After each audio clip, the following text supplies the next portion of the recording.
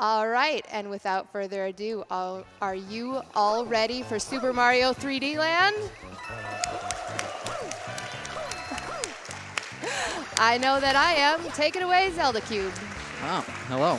My name is Zelda Cube, and this is Super Mario 3D Land. Uh, all right. My name is Cosmic, also commentating. I'm Supersonic. Jarvitz. Right, something important to note is that right away, I'm just exiting to the home menu. That's going to reduce the amount of tired messages. About every 30 minutes, there's a message that says, take a break, um, you, you feel tired. First of all, the game should not question my life decisions. and, uh, but second of all, by exiting to the home menu, uh, we can see that less. All right, are we ready to get started? Yeah. All right. All right, three, two, one, go. All right.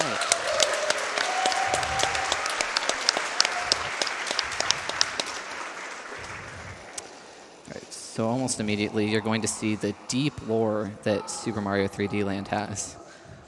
Uh, yeah, Cosmic will uh, explain more about that later. Between every world, there's these little postcards you get, and let me tell you, this game has the best lore since the very first Super Mario Bros. You might be thinking that game has no lore, but you need to go read the instruction manual. And also, you can't see these cutscenes in 3D, but they can be seen in 3D if you're actually playing the game. So, you know, just Look at that movement. Mario's not wearing it yet, but immediately in 1-1, Zelda Cube's going to pick up a Tanuki leaf. Those are the leaves you saw blow off the tree in the opening cutscene, and that power-up is incredibly broken. He wants to keep it through the entire run. All right, so right away I had the first or second optimization. I used the touchscreen to select the level. For some reason, that saves time. Right here, I'm going to release run when getting to the block. Um, when you release run, it usually gives you like the speed that you had out of the previous jump. It's kind of interesting. It's it's called hyperspeed, and yeah, for whatever reason, if you don't hold run when you land, you can retain the speed that you had midair. You'll see that used a lot more later, because there's there's some weird mechanics in this game. Like if you crouch right as you go off a ledge, you'll get a little speed boost, and if you move sideways midair, you'll get, you'll pick up extra speed. So right there at the end of 1-1, unfortunately I got a long jump, but I was trying to do an optimization called a crouch strat. Uh, you'll see what that looks like in 1-2, hopefully. Mario goes fast.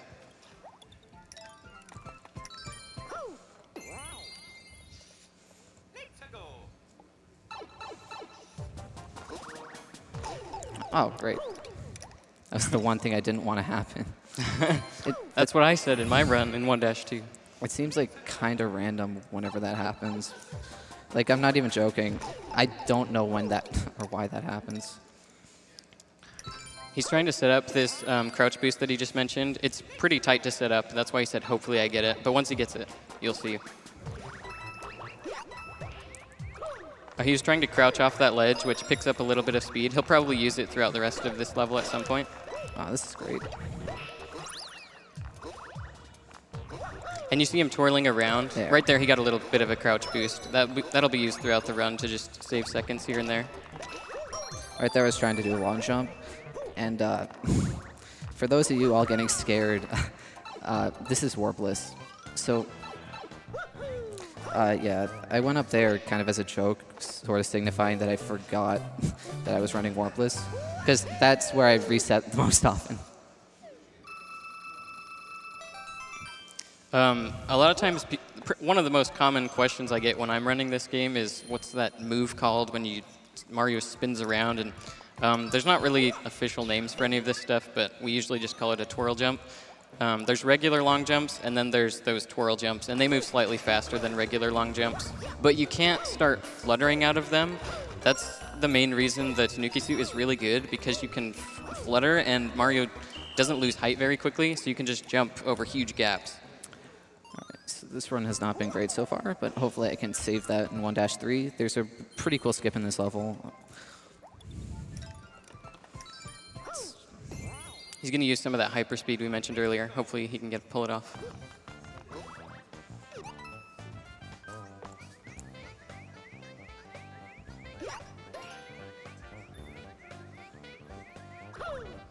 Nice, nicely done.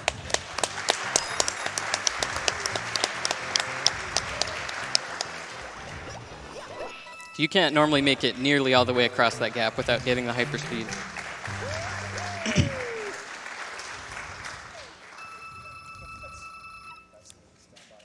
and you'll see him collecting the star medals. Um, it's not a 100% run, so you might be wondering why. And it's because you actually need them to unlock some of the levels. The last level, for instance, you need 100 star medals to open. And in the any percent category, you take warps, so you don't pass by as many star medals. But in warpless, it's nice because you get um, you get to make more decisions as to which star medals are worth picking up. There's barely over 100 in the any percent route.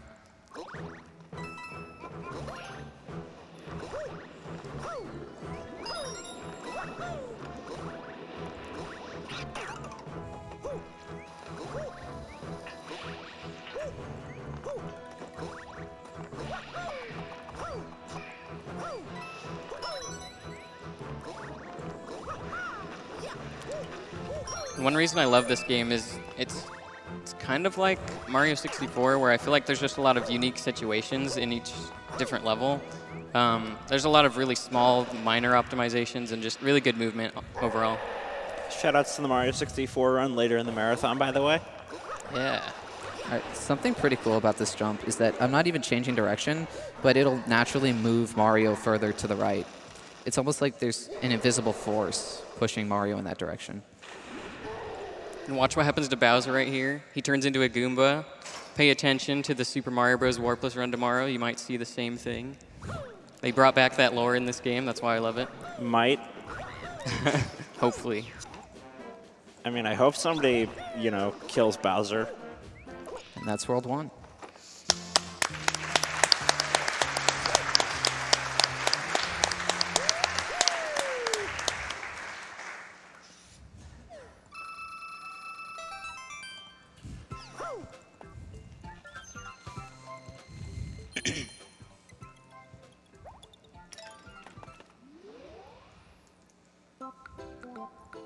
Get another postcard.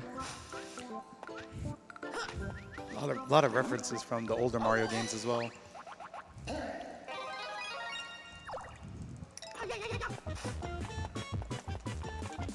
I heard um, someone was playing this game for the first time recently, and their favorite thing was that it sort of captured their favorite parts from Super Mario Bros. 3 and Mario Galaxy and kind of morphed them into this game. Here I'm going to use a telescope to make Toad drop a coin.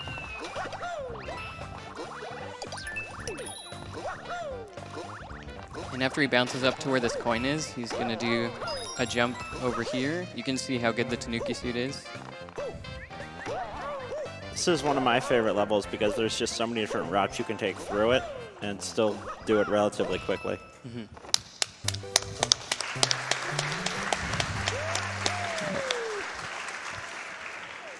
So the main gimmick of 2-2 is that you're supposed to step on these tiles, and it makes a bunch of tiles spawn after that. Um, but we're not going to do that. That's too slow.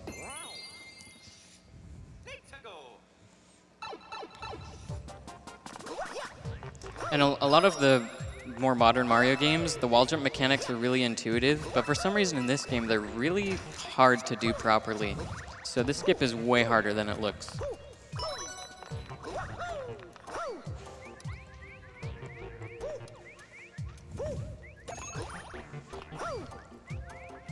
Nice, that was amazing.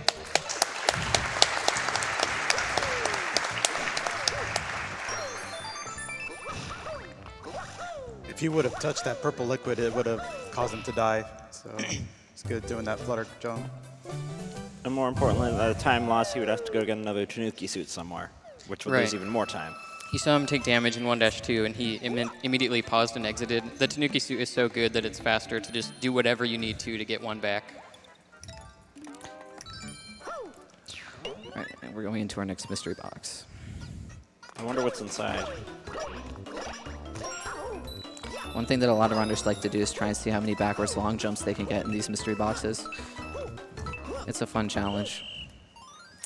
All right, this next level is based off of a video game series, or an older video game series. See if you can figure out which one.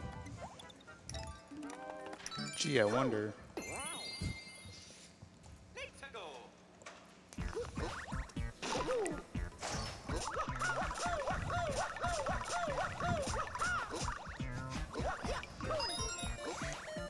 You're going to do that hyper speed technique again. Yeah, right there you can see how if you move sideways in the air in this game, for some reason you pick up a ton of speed. And then these propeller blocks are in a few of the levels, and they let you do a lot of cool skips too. It's faster to uh, take damage off of the Goomba and do twirl jumps to the box than it is to um, just uh, long jump to the box as Mario. Another thing that's important to mention is that while it may not seem like it, uh, the star conserves momentum, and that's useful in a lot of individual level runs. So where did that star come from? Because you obviously got it after you took it was damage. just but- lying there. Yeah, it's just on the ground. There's another one just sitting there on the ground in 3-3, for example. Well, that just shows I'm blind. Gonna bounce off the B. Gotta plan all your jumps out carefully in this level. Accidentally got a crouch strat there. Accidentally went too fast. That messed up the cycles for the rest of the platforms, but I managed to uh, adjust.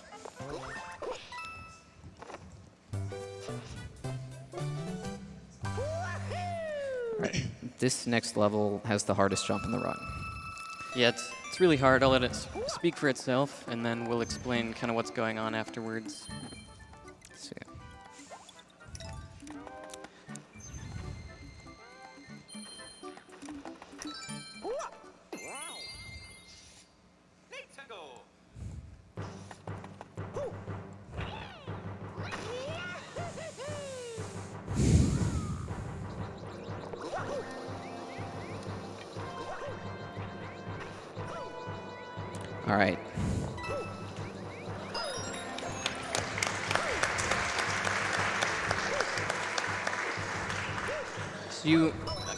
Normally auto scrollers are every speedrunner's nightmare, but in this game, they're actually some of the coolest levels because you can go ahead of the auto scroller. There's certain levels in this game that you can play completely blind. You just have to play with audio and figure out where you're going. Right. The hitboxes on these guys are really bad. Uh, there was a speedrunner by the name of Game Stabled who was doing a run for another marathon. And he was on world record pace up until the hitboxes. When he jumped on their head for the final time, um, oh, yep, see, bad hitboxes. But he, he jumped on their head on the final time. He, he jumped on his head, killed the boss, and took damage at the same time. It's all right. Uh, I get to show off something else because I lost that Tanuki. Right. Uh, there's a there's another speedrunner by the name of Fat Guy Runs, and he would always lose his Tanuki. So he figured out that this mushroom house right here in World 2 will always give a Tanuki.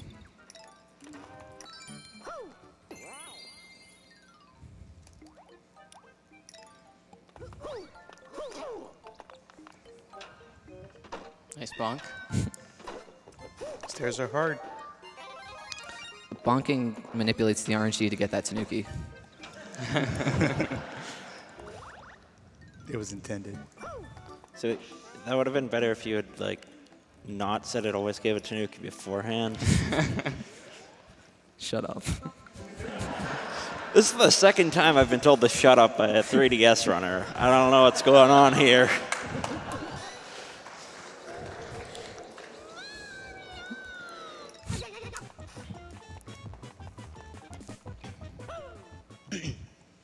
Right, we'll see the first cannon in the run.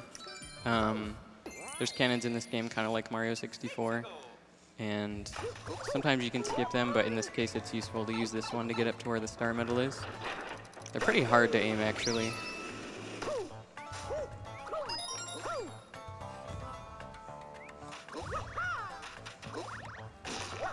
So right there, I go at an angle to break the block and get in quickly.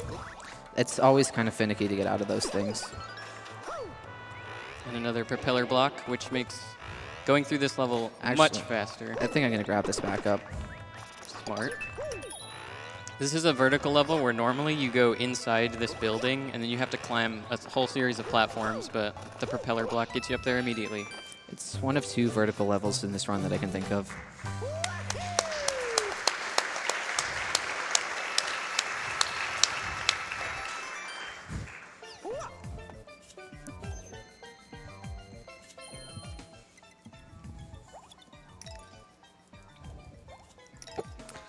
All right, hopefully here I can get a 390 pipe.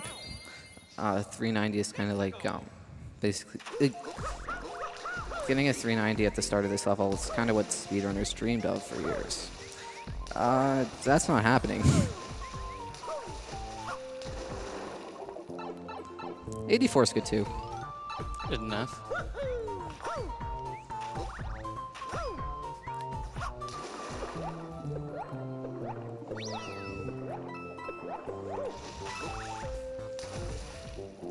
A lot of swimming going on in this level. You could probably read some donations. All right, we have $20 from a Gamer26 who says, For my friend Zelda Cube, good luck on your warpless run. You'll do great. Thanks. We have a $20 anonymous donation. If I was as fast as these runners, I might be able to get through my Steam library. You're not the only one.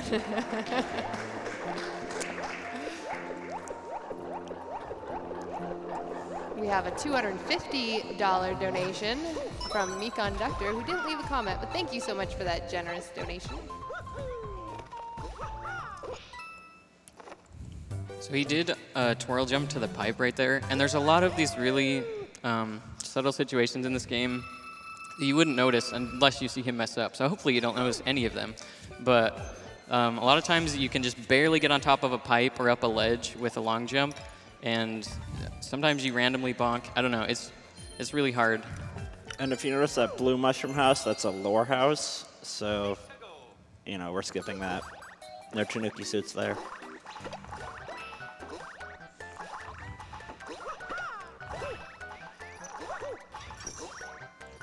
Again, that star just sitting on the ground we mentioned earlier. And Listen- one really frustrating mechanic in this game is every time you kill an enemy, there's a few frames of lag. Sometimes that'll eat your jumps or whatever button you're trying to press. To be fair, the stars are somewhat difficult to see on this monitor. So,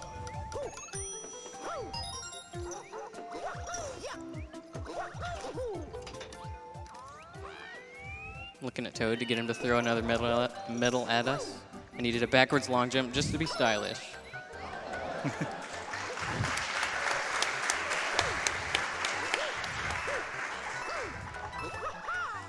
I had to make up for that bonk. All right, this next level has one of the harder skips in the run too. Uh, there's going to be a warp box, and there's a star medal that's directly below it. So I need to do a jump to it and adjust Mario's height in midair uh, before collecting the coin. It's uh, the last coin of the level. If he's at the right height, he can just barely be low enough that his tail will grab the star medal, but his head will still touch the warp box that he's going to go into.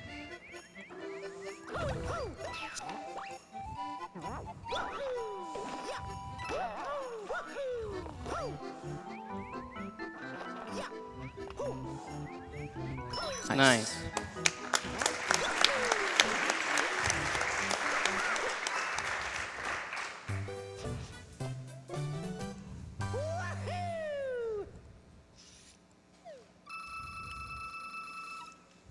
There's another airship coming up. I really like that in this game we got to play some 3D airships finally. One thing that's important to mention about this airship is that it's the only airship in the run that is not like a side scroller or auto scroller. Uh, instead, there's a cycle. But the cycle is pretty lenient, so shouldn't mess that up. Just don't get hit by the giant spikes.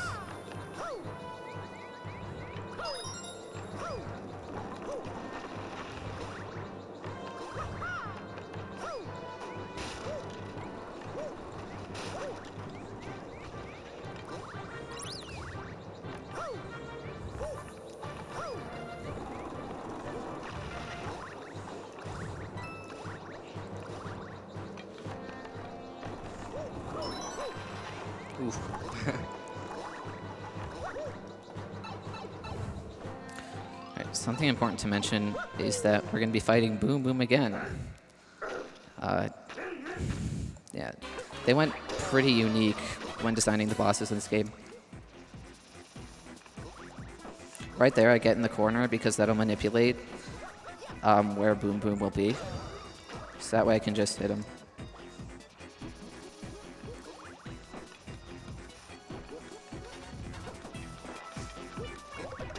Whoa.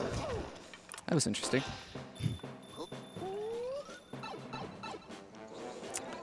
And now he's going to jump to the flag. But wait, where are you going? Something important to mention about that coin is that if you die trying to collect it, uh, you'll lose basically the most amount of time you can in this run game stable. That's World 3.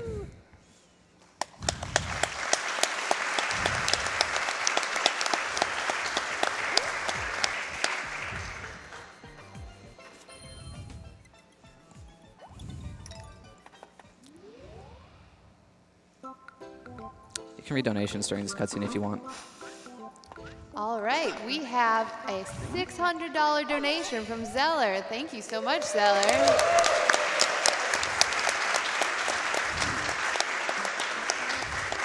It is inspiring to see so many people gather to make this happen. Thank you for yet another great event. Thank you. And we have $20 from Shane and Rainey. I've been watching for years and got my wife to start watching along with our two-week-old daughter. Another hidden propeller block in this level that lets us skip by a bunch of stuff. Shoutouts to J Dude for that cool tree strat. Ooh, And this is cannonless. it's as hard as this in Mario 64.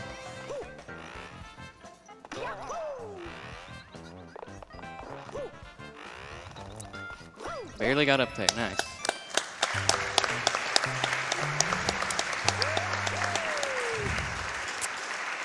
Wait a second. Uh, I forgot the first coin in 4-1. Uh, I think you can get it back up in four four. uh, well, if we get a two coin box here, I don't think that should be a problem. Oh, look at that.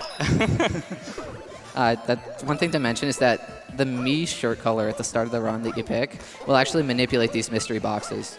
So if you're doing warpless and you have a Mii with a brown shirt color, that one will always be a two coin box. It was a mystery until it wasn't. And in any percent, you can use a pink or black shirt.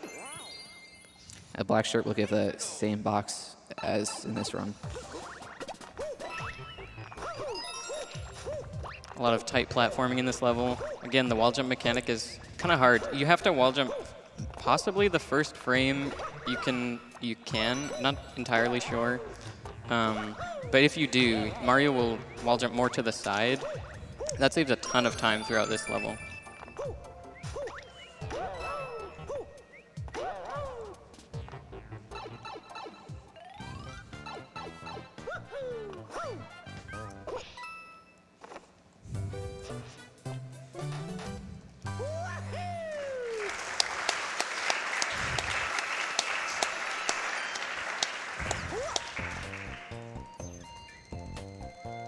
And you'll notice how he's grabbing the bottom of the flagpole, unlike SMB1, where that's faster.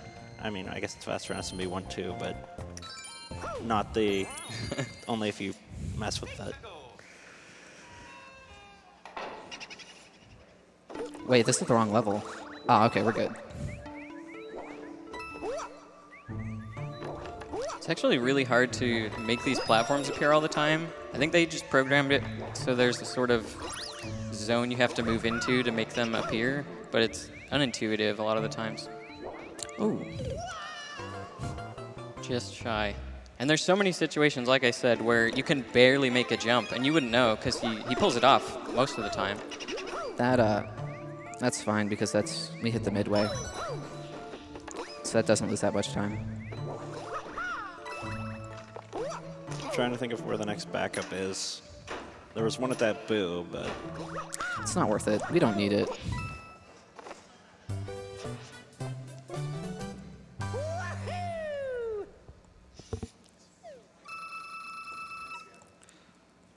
Four or five is also pretty cool. Yeah, this time the the panels that come out when you hit the switches go up instead of sideways. So there's a lot of cool climbing and fluttering with the Tanuki. That does unfortunately mean we need them this time.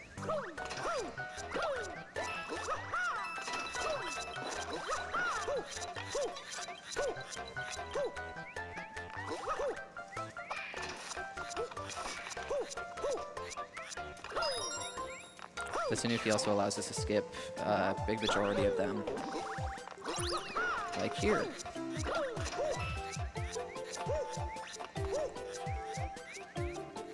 You can barely grab this one and still get in the box. Nice.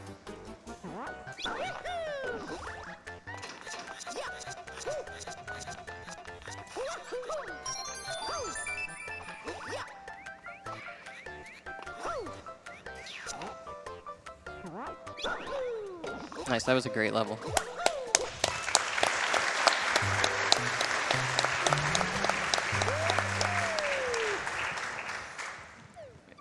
This next level, I'm going to be basically relying entirely on audio.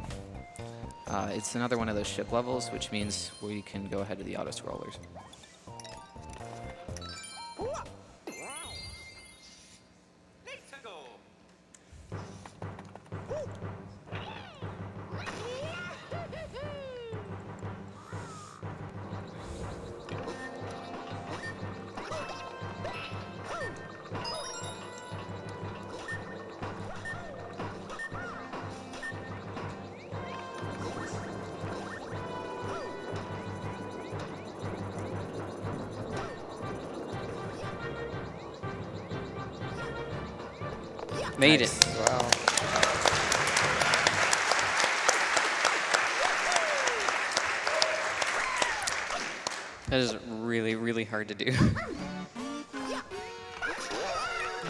this next, this next level is really hard, or this boss is really hard because she moves really fast, and I don't know when she's going to be next.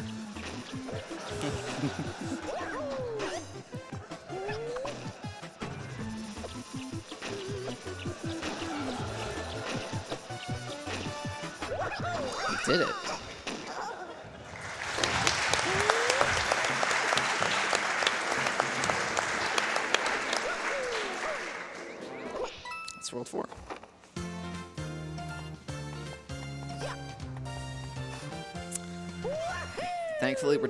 The stages, so now I can get on to the stages that I actually know how to play.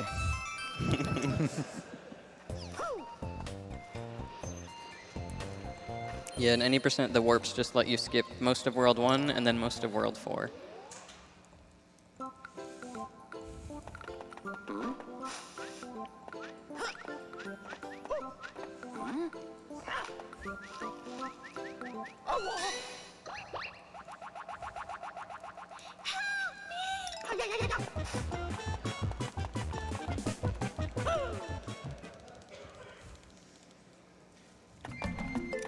Five one has an auto scroller in it, Yeah. but unfortunately, it's not just the screen scrolling. You actually ride an elevator up for a really long time, and we can't move ahead of that one in any way.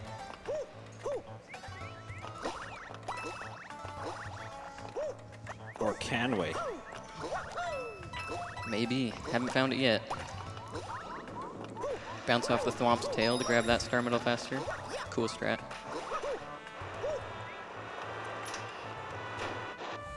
If you want, you can read donations during this auto scroller. Okay, excellent. We have $25 from Long Way Down 42 who says, Gotta get a donation in during Super Mario 3D Land, the game I've been playing while I've been watching the marathon. Plus, I gotta get a chance at that Ganon statue. Thank you so much. We have a $30 anonymous donation who says, Oh wow, I can't believe I get to watch Cuphead, Hat in Time, and Celeste runs tonight. Good luck to all the runners and good luck to Zelda Cubed for this awesome 3D Land run.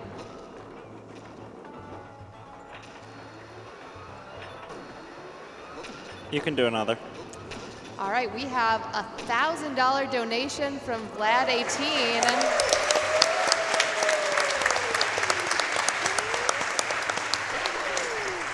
Who sends in this very nice poem. Roses are red, violets are blue. I love everyone at SGDQ. Aww. Thank you so much.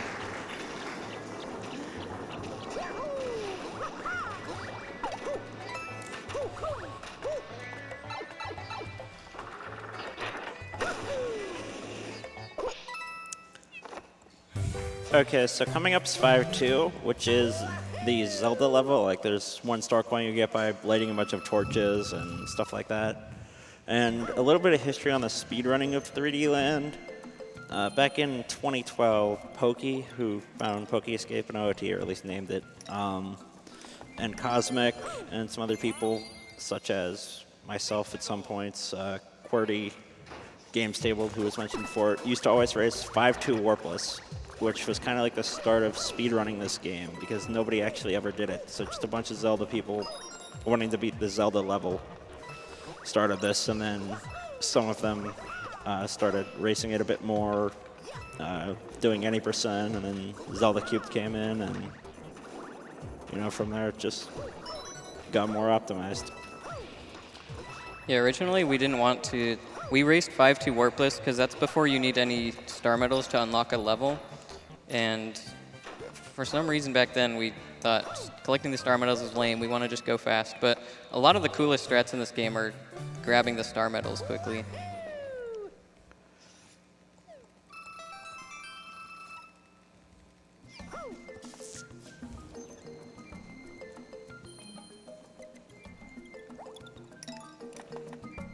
We have 5-4 coming up next. It's a really um, tight level. Like there's a lot of narrow spaces you have to go through, really easy to bonk. Um, something we haven't mentioned about the Tanuki suit is, along with all of its other strengths, you have the tail, and you can use that to hit enemies out of the way, which is really useful when there's a mole literally blocking your entire path.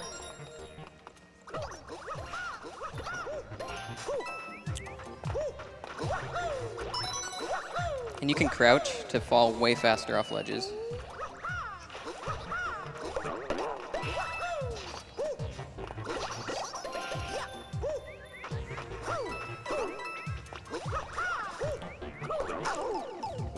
Good hitboxes. It's alright, there's a backup in 5-5. And it's mostly propeller levels, so... And you can get your revenge on the moles. Hmm.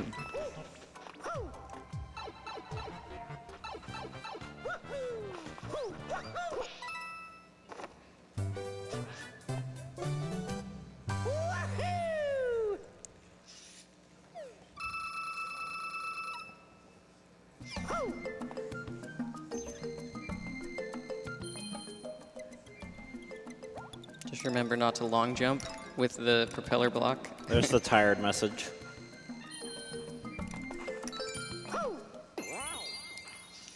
Because you can flutter out of a long jump with the Tanuki suit, you can long jump with the propeller block and then make the propeller action happen. But it doesn't work if you don't have the Tanuki suit. So I'm usually used to doing long jumps and doing like a box flutter out of that uh, but unfortunately, okay. Saved it. Uh, if you don't have the Tanuki suit, you can't do those long jumps into the flutter, so I'm kind of improvising here.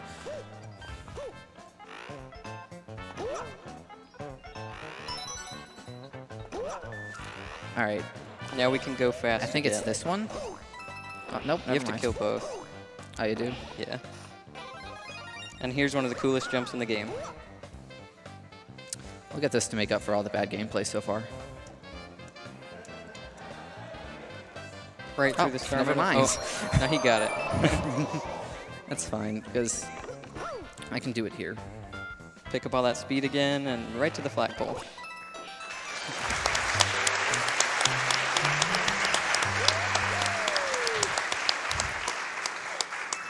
It's okay. The strats in World 6 are cooler anyway than the strats in World 5, so as long as I get those. Here's the first level you need star medals to unlock. 56 is plenty. But by the end of the run, he does need 100, so we need 44 more. Quick math. It's kind of funny because most of the time if you make a mistake in 3D land, it's like a big mistake. but all the mistakes I've made in three, like are small mistakes, like not resulting in a death. So um, Yeah, good, clean, deathless run so far. Let's hope it stays that way.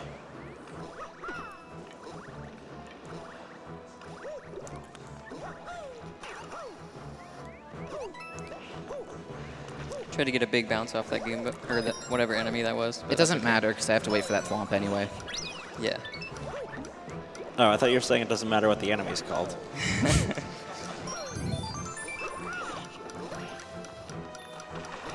And again, this is mostly cycle based to get onto those platforms, so it doesn't really matter how I play throughout this level.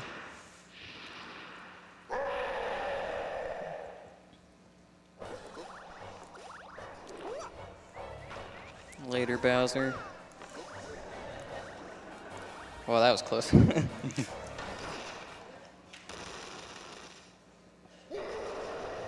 Again, not the real Bowser. Check this lore out. Something to no- note is that in the first postcard, it basically shows Bowser giving each enemy a Tanuki, and then sending sending them off to the different worlds. Um, I think the idea behind it is that the Tanuki leaf transforms the enemies into the different Bowsers.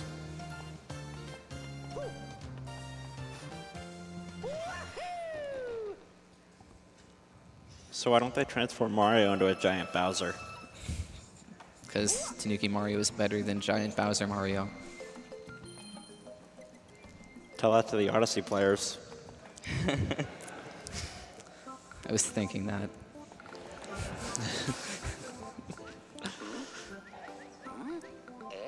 We have a $50 donation from Two Loaves of Bread. Those airships are the most fun looking auto scrollers I've ever seen. Keep up the awesome run, Zelda Cubed. Thanks. Peach fighting back a little bit. All right. 6-1 is another one of those levels that's pretty cool. Uh, for the, n- not for the most part, but the ending of it's cool. There's uh, a lot of complex inputs to do well uh, on the stock. It's uh, kind of hard to get them all. And this is one of those situations where your tail hits an enemy and it, the game makes a few frames of lag and you miss your jumps. Alright, Still the cube's too good to miss his jumps though. Thanks, Cosmo. oh no. nice. Wait a second. That's going to put me before the cutscene. More, more time for donations. Wow. More time for donations. There's a thing called commentator's curse. It wasn't me this time. That's okay. I wanted to make sure we got this donation in there. We have a $10 donation from We Have a $10 donation, which says We Have a $10 donation from We Have a $10 donation that says $10. Thank you. Interesting. Wait, I feel like you repeated that comment. And is he repeating this level? It was fate. Funny enough, uh, the current warpless record on speedrun.com is actually pretty good. I know it's kind of a surprise considering how I'm playing, but um, the current warpless record actually, um, the only, well, we're not getting fish bounce. Uh, the only mistake it makes is that it replayed. So I got to the end of 8-1, and I died at the end, and I soft reset, and I had to watch the cutscene twice. So the run is good, except for like a four-minute time loss right there.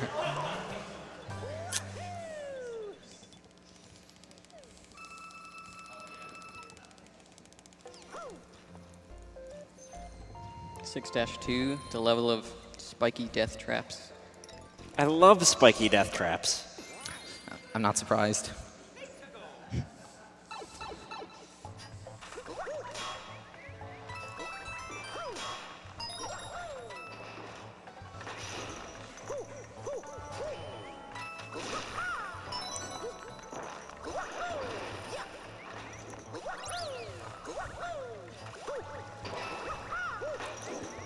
It's really hard, but you can get on top of that elevator before it starts moving up.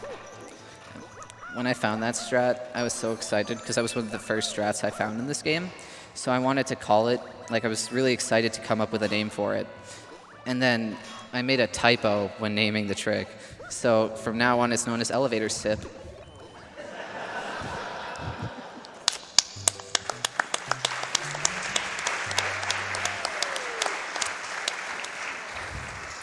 That trick doesn't save that much time anyway.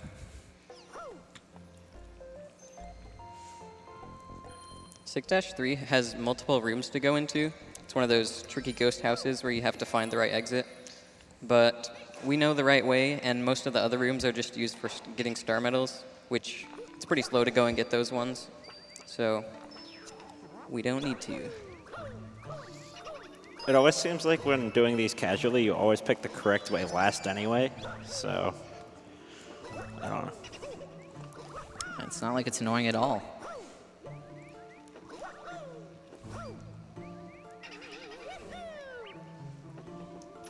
Hey, level went well. I was waiting for you to bonk there. Yeah, no more saying things are going well until after it's done. All right, this level actually has the hardest, like, or, well, not the mystery box, but the level after that is actually one of the hardest strats in the game. So much so that speedrunners like J Cool can't do it. Um, so basically, it's called Red Cycle. Um, at the end of the level, if I go fast enough, I can do a long jump off of the red platform. Um, and I can also, but it's kind of difficult to get there because I have to do another precise jump along the way as well as getting there at the perfect time uh, in order to actually be able to do the jump.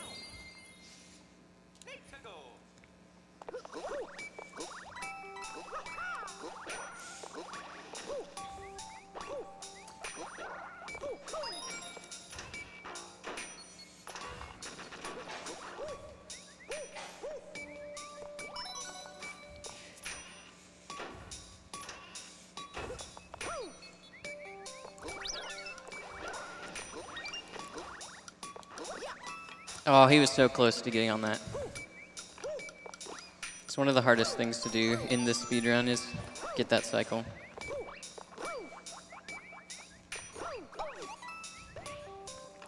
And those enemies right there, if you hit them with your tail, they flip over and then you can bounce off of them. That's really useful later in the run.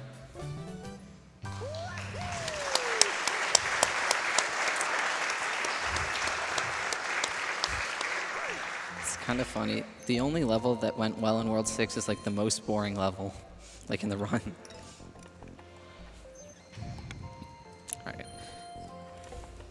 This next ship level, we actually have to do the auto scroller, so you can read donations if you want. Excellent. We have a $150 donation from Fallastar, who just says, Everybody do the Mario. and we have $50 from This Whoops. is Chris. As someone who isn't great at Mario games, it's always satisfying to see one conquered. Good luck on the rest of the run, and let's get that Pepsi Man incentive met. Well, this run, I'm not conquering this game, so. There's a backup Tanuki there. We have $20 from I Eat Band Candy. My husband got me into GDQ in January, and I've been patiently waiting since then for the next one. I work from home, so I can watch most everything live. Your Good. band has, sorry, your, Go ahead. your band has candy? Mine only makes those like really overpriced subs. Band Candy's good, man. Uh, Uh, they say good Uh, luck to all the runners, and shout out to my husband, Zach, Wait, watching where with am. I? Donation goes to Announcer's Choice. He made it somehow. that was crazy. Wow.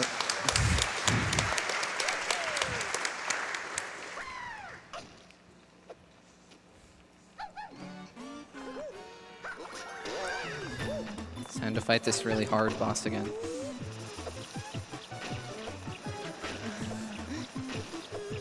You'll notice on the second hit, he hits her on the top on her head. That makes a shorter damage animation. But then for the last hit, you want to make sure you hit her with your tail, because then she falls over and dies faster.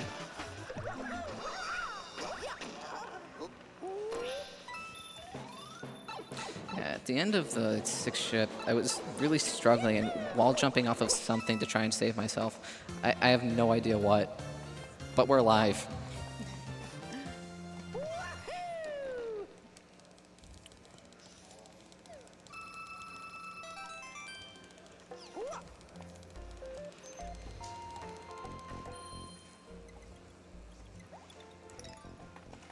Perhaps my favorite postcard yet.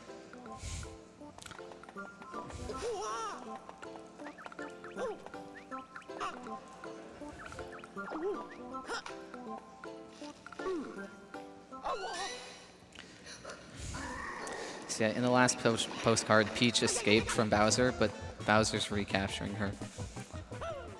All right, this next level is really hard. Uh, I'm gonna need some concentration. It's also pretty long, and it's a water level. Hey, we did it. Never mind. Close enough.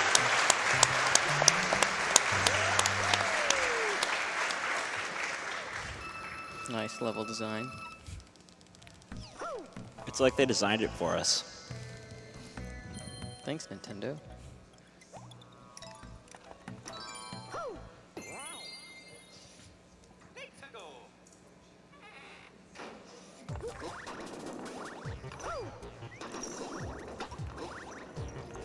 I was trying to do a crouch strat there, but it's kind of precise.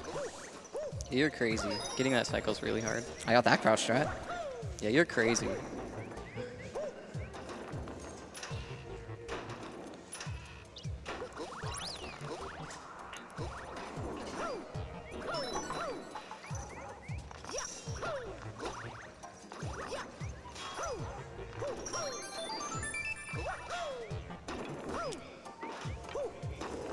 I didn't even know you could make that. That's insane. Figure I'd scare you there, Cosmic. There again, too.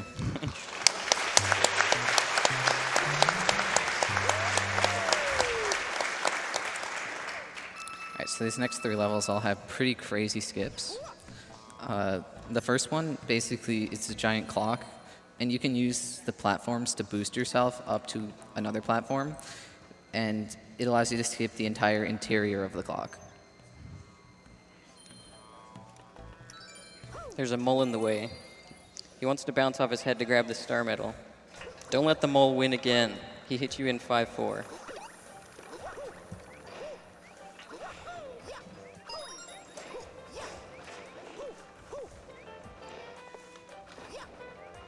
Uh, wow. You got him. It's okay. He didn't hit the mall, so we're fine. Worth.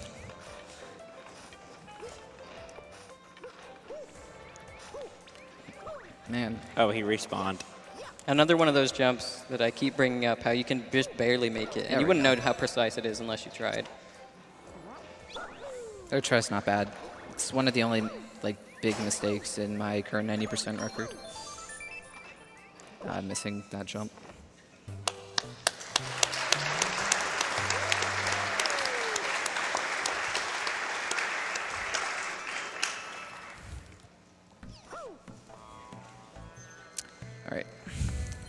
Level number two. Uh, at, at the end of this level, there's supposed to be another auto scroller. Um, it's not like a side-scrolling auto scroller, but it is more so you have to ride the platform towards the end, and you can do a bounce off of the Goomba to completely skip it. We like skipping auto scrollers in this game.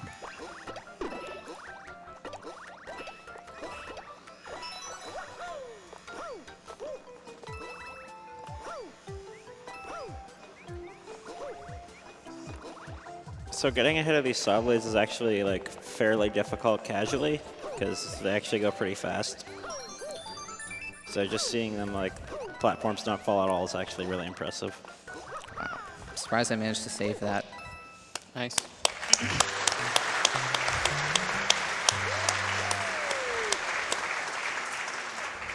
This is another one of the, Seven Ship is another one of those levels where I'm going to have to ri- rely completely on audio. Uh, shoutouts to SSR. He's an individual level of this run, or individual level runner of this game. He has literally every record, and he was the first person to do blind Seven Ship, I believe.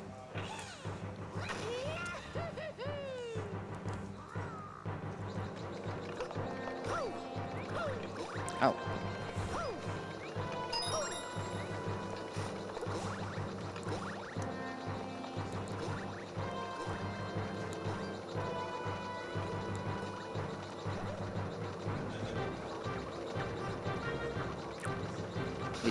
Wow.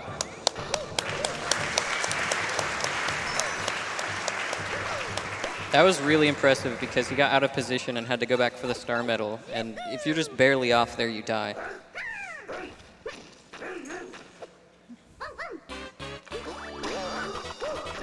So right here, in this level, it's a little difficult, but you can manipulate Boom Boom to come where you want to. Looks like he's coming. Oh, No. he barely didn't ricochet off that wall. Uh-oh. This boss is hard. It's their most original boss yet. So far, they've only had one or the other, but both? Wow.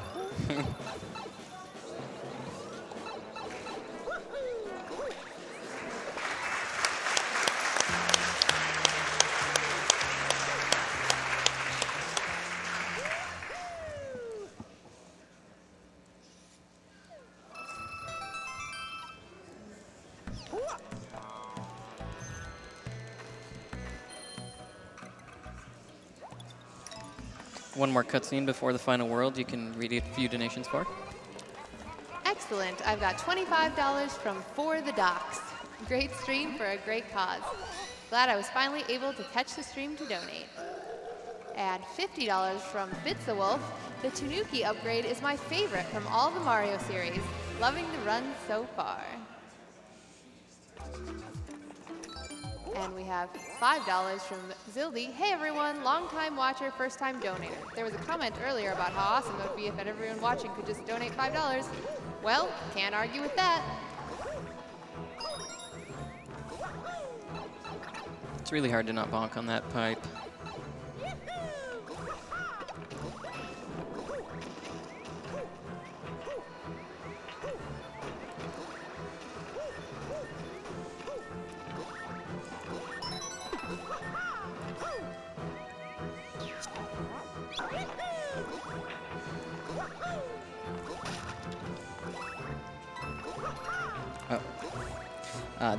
Mess up my visual. Okay, we got it.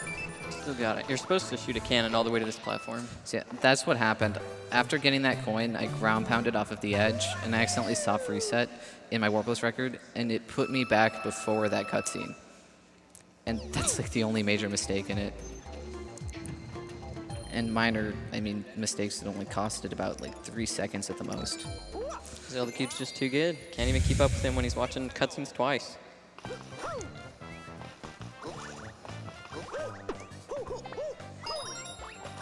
This is my favorite skip in the game. All right. I tried to do camera manipulation to get on that first platform faster, but that unfortunately that didn't happen. It's really hard because to move the camera, you can move it a little bit to the left or a little bit to the right. And to do that, you can either touch the touchscreen or use the D-pad. Your hands are a little tied up trying to do all these jumps. It's really hard to get a free finger even to uh, turn the camera while you're playing.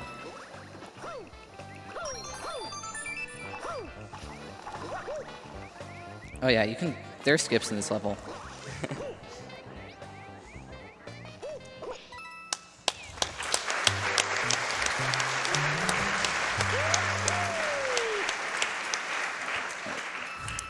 Eight four is the last level with a major skip. Uh, there's supposed to be. It's supposed to be another one of those levels that's an auto scroller, where you follow these platforms all the way to the end, and you can skip all three parts of the auto scroller. It's pretty great.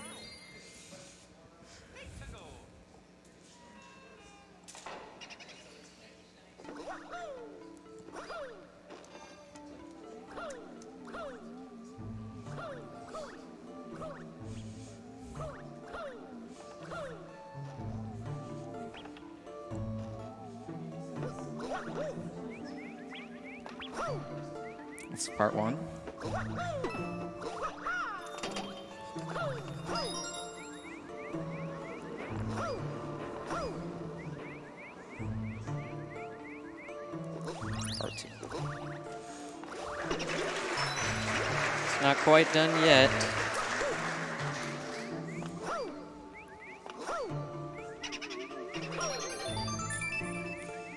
We're good. Now it's done.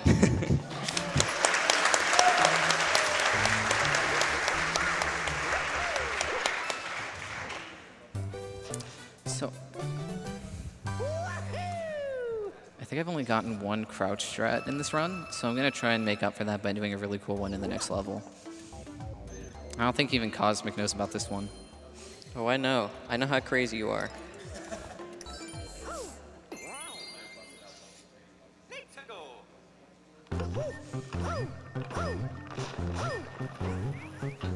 Uh-oh. Uh-oh.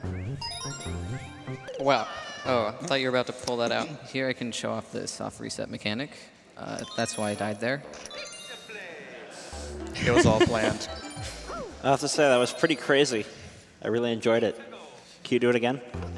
Maybe 10 times fairly soon? Whoa, whoa, whoa. Not yet. One more level. Oh, I forgot to do the crouch strat that time. It's okay, it doesn't save much time. Oh,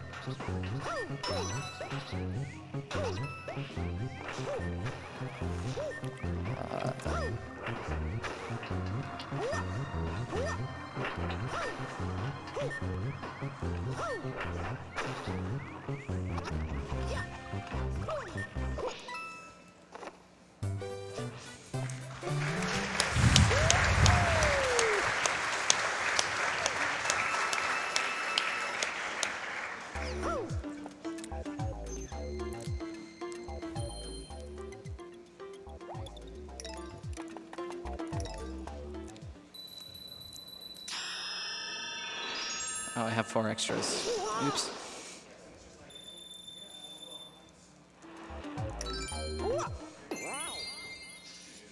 All right. This is this level has a really cool strat, so I'm hoping I can get it.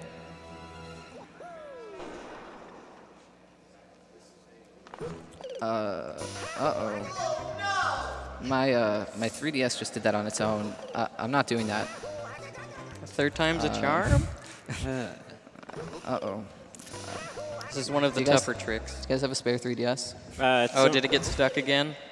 I mean, I was gonna go grab mine, but then Cosmic texted me and said we didn't need it, so I kind of didn't get it. Right. It's always my fault. Uh, I mean, you're the one who texted me. I can pull that up right now if you really want me to. uh, I'll try and fix it. By the way, this is intentional. uh, I lost count, actually. How many deaths am I at? I think That was that's eight. All right. Yeah. We'll just mess around. One, one more death. Why not? 10 deaths is all we need for this. So by dying here 10 times, uh, you get power-ups, and it's actually faster, and it's really lame. It is. so now for this level, he won't be able to get hit by anything except lava. Yeah. Um, But yeah, and then there's also a P-Wing, which will warp them to the end of a level. but yeah, uh, we thought it was so lame that we came up with an excuse to ban it in 100%. It's not really valid, but it's an excuse. If you beat the game without any of these like bonus power-ups showing up, uh, you get five stars for getting 100%, and then if you don't die more than five times in a level, those stars sort of sparkle on your file select. So that was that was our way. You, you need those sparkly stars for it to be 100%. So you're saying if you're bad, you can't run 100%? Yes. Well, I guess uh, that I need to cancel routing that.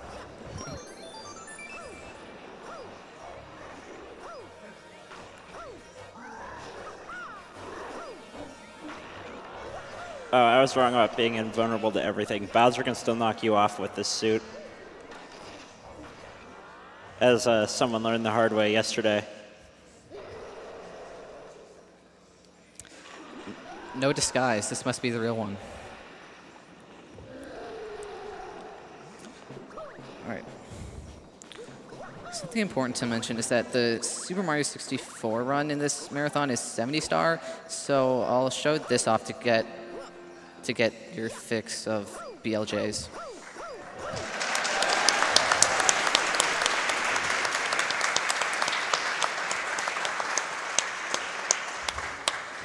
So I didn't get a third try like Cosmic did.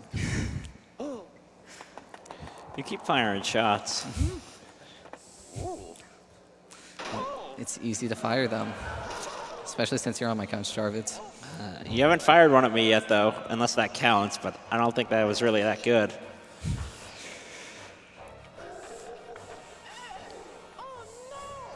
So you, you Oh, might have no. seen that was the last level on the overworld, but surprise, surprise, Peach got kidnapped again. So we have two more levels to play.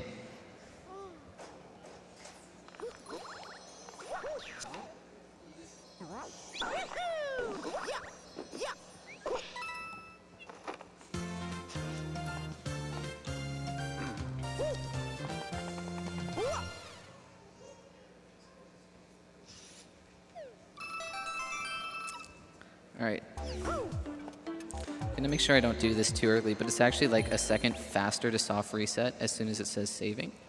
And that's going to skip a cutscene with Bowser in this half world 8. All right, this level's pretty cool. I'm hoping I can get all the major strats in it.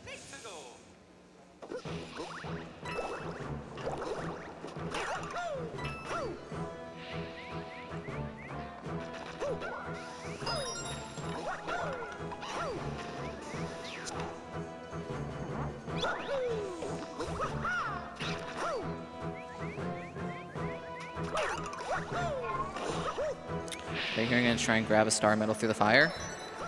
He Did it. Invincible tail. Yeah, Mario's tail is really useful for grabbing like star points in this game. So close to that fire pillar.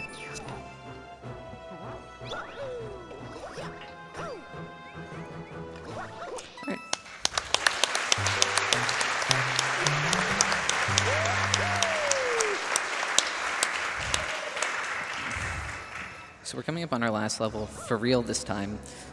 Um, and something important to mention is that there's a skip in this level that basically every runner had tried to come up with a method for, and we all deemed it to be impossible. But then a new runner by the name of Che Dude, um, he holds Super Mario 64 DS any percent record.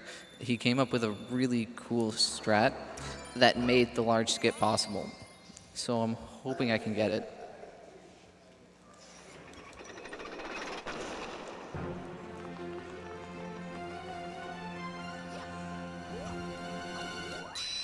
And since this is the last level, you'd think we could use the P-Wing, but this level's actually in two parts. So you can only use the P-Wing on one of the two parts. And it was originally used on this part, but it was changed to the other part after um, it was someone made a comparison video, and then that strat was found afterwards that made Uh-oh. it even more worth it. I wanted to show off the strat, and since I had a bad angle, I knew I had to reset.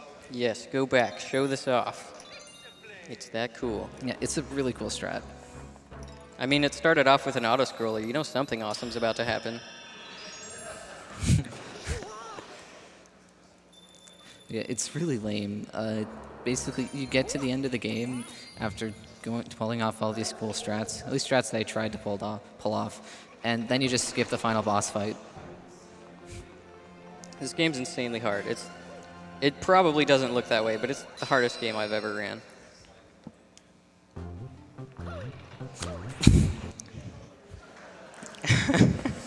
Oh man. Thank you. I'm good at this game, I promise. It's the other castle in World 8 you die 10 times on.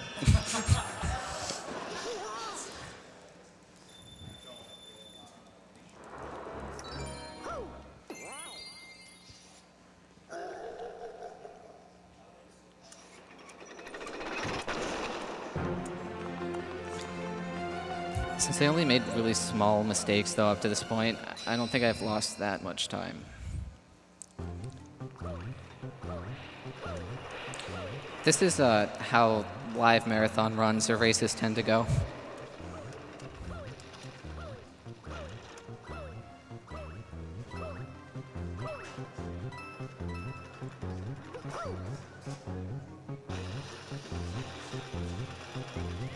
That's looking good, I think.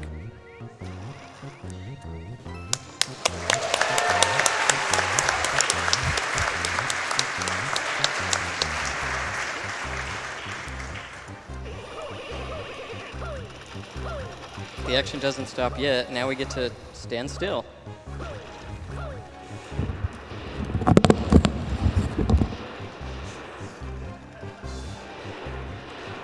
I didn't know this was happening.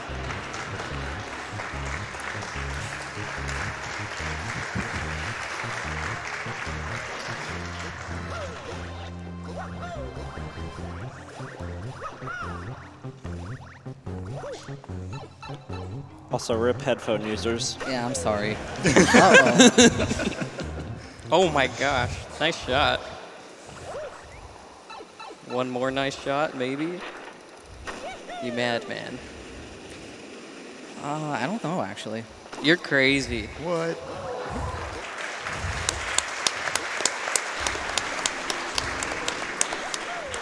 No, don't jump off the edge. Most of the time, when you hit the very edge of that, uh, what'll happen is uh, is you'll actually get recoil, but then you won't get the animation where he's like landing on the ground. But even though I hit the edge that time, for some reason I didn't get that animation. All right. All that remains in this run is just to use the P-wing. So time's coming up soon. Yeah. Time happens when I hit the flagpole.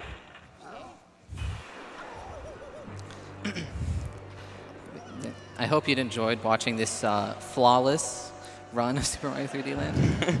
Hey, I mean, over half of the deaths were intentional, so.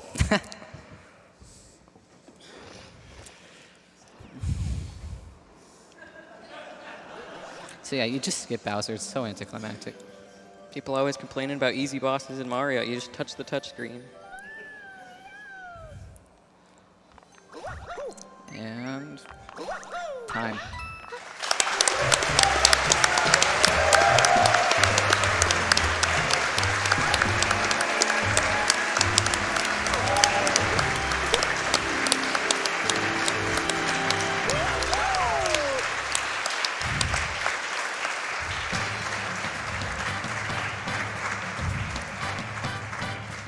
Before I go, I just want to give a quick shout out to a few people. Shout outs to Storster. He's really pushed me to improve in this game. Shout outs to Kevin and shout outs to Mark Plays. And shout outs to Kevin, the Power Up Audio guy, too. That guy too. I got your back, Kevin. Thank you. Shoutouts to King Boo 97. Oh yeah, him too. He's uh, the best Mario 3D World runner, at least last time I checked. He also plays this game. All right, let's give it up one more time for Zelda Cubed 1.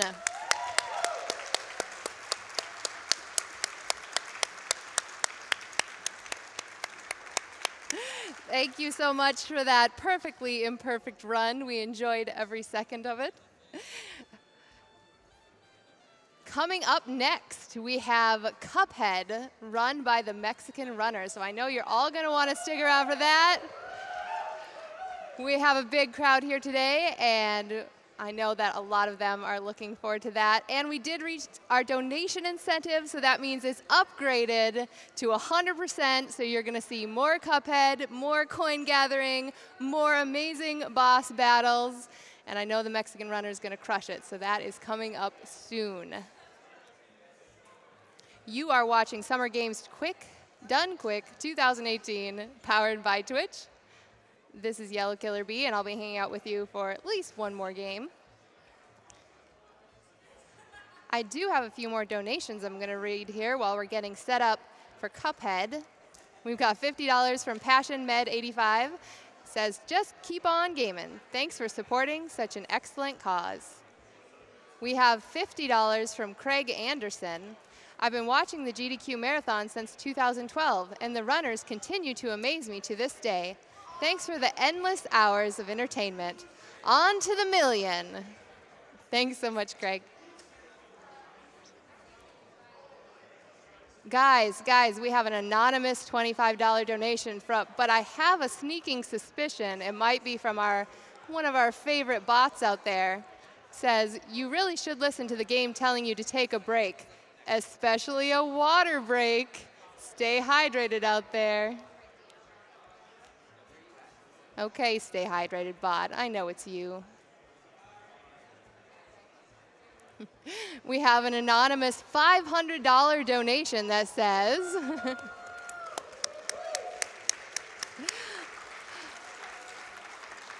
I could sure go for a Pepsi. We've got $20 from Robo Zombie, loving today's lineup and can't wait to see Cuphead played at a high level.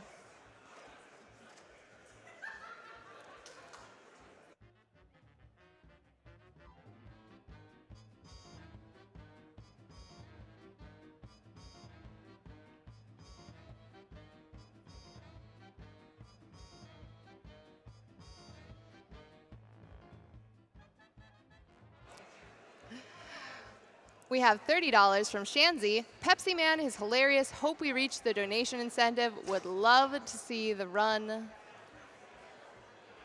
We've, we've got $10 from an anonymous donor. This donation is from my nephew who got into Cuphead and is also a talented artist. Last year we met another talented artist and we're like a family now. I hope we can keep making games forever. Best of luck to all the runners. All right, we're going to throw it over to one of our sponsors, but we will be right back.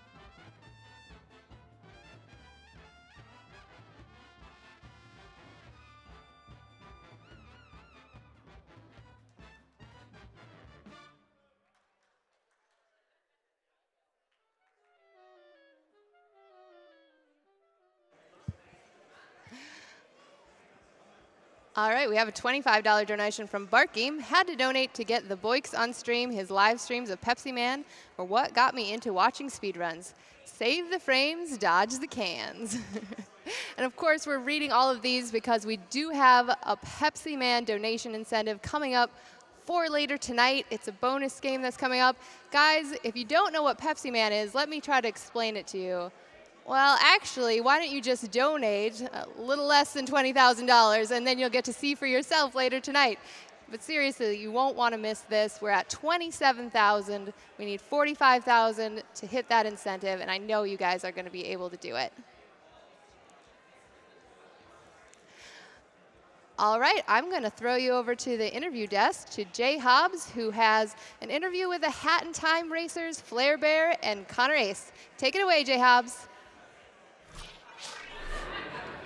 Thanks. How's it going, everybody? Welcome back to Summer Games Done Quick 2018. My name is Jay Hobbs. I'm joined by Connor Ace and Flair Bear, We're going to be performing a run of Hat in Time, or rather, two runs of a Hat in Time, racing head to head.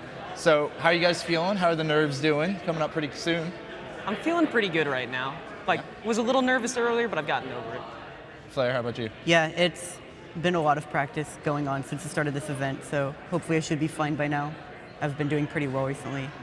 Awesome. Uh, so, right, gonna get right into it. Who's winning the race? Give me, give me the Him. the respect, not the trash talk. The respect between the. Two. But for real though, it's gonna be a close race. Like both of us are always really close with each other whenever we've done races, and it's usually like one thing that'll decide what happens. Yeah, we've had mixed results in the practice like races we've had so far. Even if they were close, but like the times have always been really varied. So like if we get a run where we actually like don't have like absurd chokes for once, then it'll be a lot closer than have than have been the other attempts. Right. Well, hopefully we get to see a great race. I'm sure it'll be awesome either way. uh, I do want to ask Flair, this is your first time at a GDQ, right? Yes. Uh, how are your nerves doing? You know, you're going to go up on the big stage, but at the same time, it's kind of just another race, right? Uh, how, how are you feeling? They've gone down severely since like the time in like March when submissions were going on. Like when uh, when submissions were going through, and I was like, "Wow, I'm I'm the best person submitting, and this is like a really likely game to get in." I was like, "Oh my gosh, I might actually be doing this," because like I wasn't in speedrunning for very long by the time that I submitted, and I'm like already in a GDQ. So it's kind of crazy, but yeah, over over those months of like not even believing that it happened, it's like I've just gotten used to it a bit more by now. So hopefully, I'm not nervous for the run. And you're only 18, getting to jump Yeah. in, you know, in front of everybody and do the race. That's pretty awesome. Now, Connor, you've done runs at GDQ before. Yeah. How are the nerves comparing this time compared to before? Stuff like that. It's a, it's really about the same. Like this is the biggest run that I've done so far, but feeling about the same. I've got like I've gotten pretty used to performing runs for marathons at this point. Okay, cool. Well, I want to jump into some of the social media questions we got because we've got a lot of great questions from people on Twitter. And the first one is perfect for anybody who is no, not familiar with Hat in Time at all. So at Jiverson87 asks, as someone who has never heard of or seen the game before, how would you describe it, and what should we be looking forward to during your run? Um, from a perspective of someone who's never seen it, something that you can understand if you've already watched or like played through the game before is a lot of the cool routing is how many of the levels that you like don't do the intended routes for anything on. But if that doesn't make sense to you because you haven't played it before, then the main thing to look out for is the movement. It has like really, really cool like, I guess like Mario like movement. There's like I don't know, the time rifts are really cool to watch just because those in particular are just like big obstacle courses mm-hmm. with like showing off all the movement exploits that we figured out and stuff like that. So yeah, I guess the movement and watching like how we maneuver around things and stuff like that. Cool. Connor, anything to add on that? Uh, not really, but I mean, yeah, the movement is really, really smooth overall. Uh, there's a lot of like really subtle tricks that we'll be like careful to point out so that people who are new to the run will be able to understand what's going on. Well, that's great. And have, now this game has actually shown up in GDQ before, even though it was only recently released. Uh, did either of you run the game in beta? So the beta speedrun that was at GDQ, uh, I've never done a run on that build, but there was the speedrun preview that they released right before the game came out, and that's what I ran. Okay. Yeah. I've, I've seen the, the run. The I didn't play around it those times either. I started playing immediately after the full release came out, but I'm, f- I'm familiar with that build and how it works, and it's completely different to what it is. now. Very, very different now. So we got the almost the new boy and the old boy, you know, going to be racing here head to head. it should be exciting. All right, well, let's get into our next social media question from at Amerlin. Uh, he asks, Flair and Ace, what skip do you consider the hardest in the current route overall? So hardest in the current route is definitely bag skip, I would say. Uh, very, very precise trick that we use to uh, jump over a cutscene trigger, and it saves about like 30 seconds. Oh, wow. I want to say. Uh, but the hardest in the game is definitely the uh, the quick kill for the chapter two boss. Uh, Flair is more experienced with it than I am because Yeah. so he can talk It's about like, first of all, on, on bag skip, like, uh, even though it's like something that I expect to be more consistent at now, considering that I've put more practice into bag skip than like anything else in the run and still sometimes miss it and reset to it, it's such a brutal thing. It takes the longest for like new runners to start getting used to but eventually people start picking it up because it is a big time save. And the quick kill that he was talking about, the final boss of the Battle of the Birds world, there's two of them, and one of them in particular, because they work in different ways. One of them in particular, there's an out of bounds you can do with the scooter, and like there's barely any people, if any at all, that do it in runs. It's only in the all timepieces or 100% category. And yeah, it's like definitely the hardest, I would say the hardest level in the 100% route is that. And you, get- you don't have to worry about that one, right? Because you guys are just doing it. Yeah. No, we're not so- doing that. It's, it's specifically huh? for DJ Grooves, which is one of the two bosses, but we fight the conductor instead.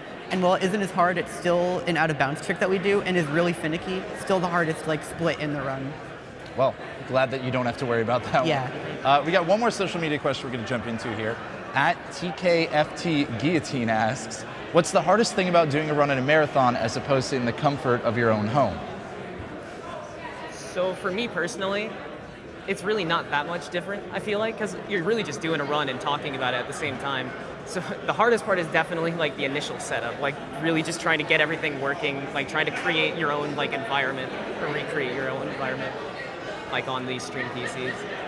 Yeah, I, I, that's like exactly what I wanted to say. Like, for me, playing when I started doing runs while talking, like uh, when I was doing like commentary submissions and everything, I didn't even feel like it made a difference in my play at all. Just because I know enough about the game, it kind of just flows out when I talk about it. It's not really that hard, but this game has like a lot of things going on with like the settings and graphics and stuff like that you have to get used to. Like if I were playing on my computer at home, I use like lowest everything with like some weird graphic settings that make it easier to see like visual cues and stuff. But like setting it up on playing on a PC other than your home, it feels like everything is different. So it's it's kind of weird. So you have to kind of get used to it. All right, well, uh, thank you guys for asking, for answering rather, some questions. Uh, I'm very excited for this run. I'm excited for this whole block coming up, and I wish you both the best of luck. Thank you. So I'm going to go ahead and throw it over to Sent now to tell us about some prizes for this awesome Cuphead run coming up and the entire indie block tonight. Take it away, Sent. Hey Hobbs, thank you so much for that wonderful interview.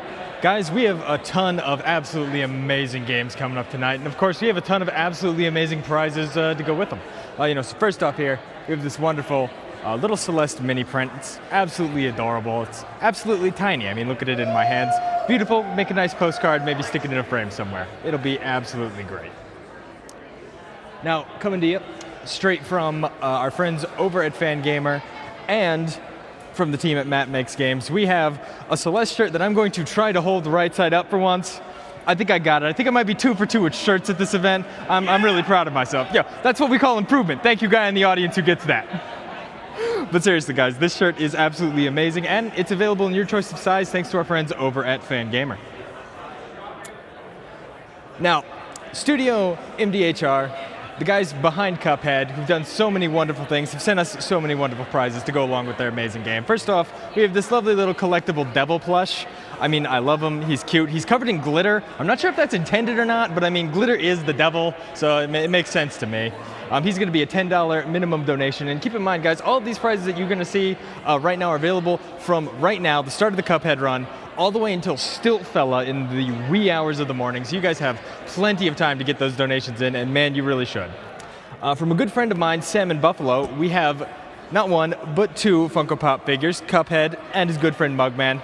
They're coming together as a set to you guys because, I mean, come on, these two should really never be separated in their quest to, um, you know, stop dealing with the devil. Guys, don't, don't deal with the devil. Not worth it, I promise. Uh, these two are a uh, $10 uh, minimum donation together. Uh, we also have uh, Legendary Chalice as well as Dice King Funko Pop figures from Studio MDHR, and those are $5 a piece. Studio MDHR, I mean, they just, they kept coming. They sent us this lovely little apparel pack. There's a hat, there's a couple of shirts in here. We got one shirt right here featuring Cuphead and Mugman. We got another shirt right here featuring, I mean, you guessed it, Cuphead and Mugman. And uh, we have one more shirt. I'm, I'm going to give anyone a prize who can identify what's going to be on it. Uh, well, that guy probably would have won something if I hadn't already said Cuphead. No Mugman, though. Got you with that one.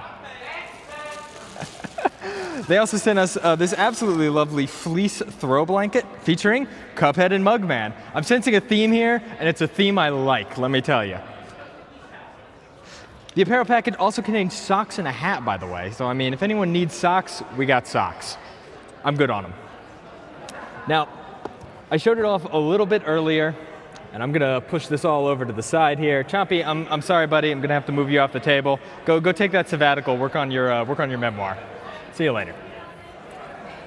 To show off this, uh, this absolutely amazing shadow box, uh, courtesy of MDHR and Artovision. This thing is, this thing is just sick. I mean, it is a little bit hard to see on camera, but it is fully 3D, multiple layers of, um, of paper on there, and it's just accurately depicting that. It's, it's just so sick. It's a, and it's only a $20 minimum donation, guys. This is one of a kind. I think only two of them have ever been made, so Like, come on. And it even actually on the back comes with a little certificate of authenticity from Artovision and Studio MDHR. So, I mean, this is the real deal right here.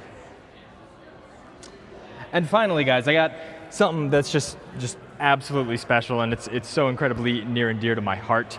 Um, Studio MDHR went above and beyond, and they sent us not one, but two original animation cels from Cuphead. Ah, there we go. The audience, the audience knows how impressive this is. They love it. Guys, if you don't know, Studio MDHR, they were super dedicated to the craft. They went back and they animated the game like you would in, you know, a ye oldies 1930s, 1940s cartoon. These are the animation cels they used to like pipe into the game. Um, I mean, these are one of a kind. You're genuinely not going to be able to find these anywhere else. It's a $30 minimum donation for the two of them. Uh, like I mentioned, it is from now until the end of Stiltfella. You want to get your donations in for that. We also have an absolutely amazing Cuphead vinyl soundtrack from our good friends over at iam8bit. Um, check the tracker for a picture of that one. It's it's going to blow your mind. The packaging is amazing. And you know, keep in mind, guys, all of these prizes, you get your donations in for them. You're getting your donations in for our grand prize, $150 cumulative throughout the event. You're going to get yourself an Xbox One X. You're going to get yourself a PS4 Pro. You're going to get yourself a Nintendo Switch. You're going to get yourself an amazing amazing gaming PC. It's all together in one package. Um, but as always, if you need more images of these things, uh, if you just want to see what great prizes are coming up, what great runs are coming up, what great incentives are coming up, you can uh, put these prize donations towards. Uh, by the way, I think uh, Pepsi Man is still like a good 15,000 away from its goal. You guys want to see Pepsi Man, right? Make some noise for Pepsi Man real quick. That's what I like to hear. Guys, we all want to see Pepsi Man. You want to see Pepsi Man, but right now, you want to see TMR absolutely demolish Cuphead. So let's throw it back up to the front as we get ready for that run. All right, thank you so much, Cent. We are getting set up for Cuphead. I know you're all excited about that, but first, we have a $3,000 donation from Henry47.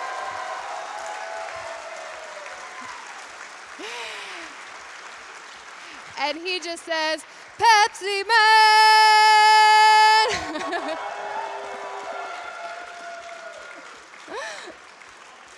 Sorry, headphone users.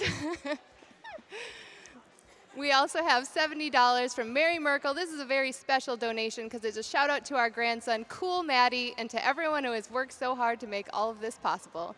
So proud of everyone involved. Thank you so much, Mary.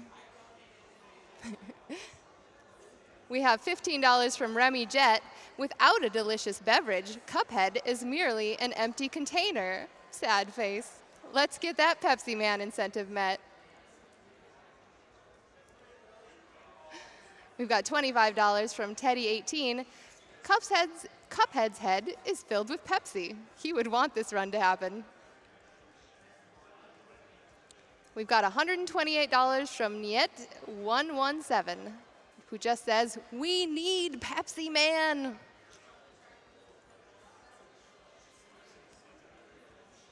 We've got $23 from Murray. Hi, everyone at SGDQ. Here's $23 towards 2.3 million. Thank you. We have $200 from Anonymous, who just says, kittens.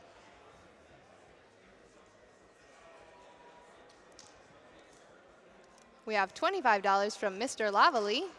I've been talking to my students about this for months. Hopefully, at least one of them will hear this and follow suit with the donations. Thank you to AGDQ runners and staff for raising the bar for what can be accomplished with video games.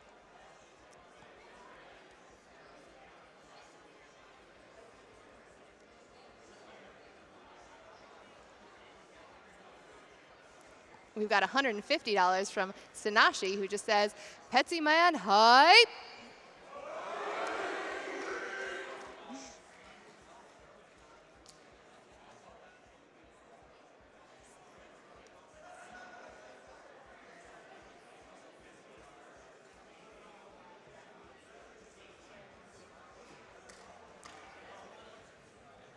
We've got $50 from Unisverse. Thrilled to see Cuphead being played for such a great cause. Had to try to get in on those amazing prizes. Everything about this game makes me happy as an animation student, and seeing it break is even greater.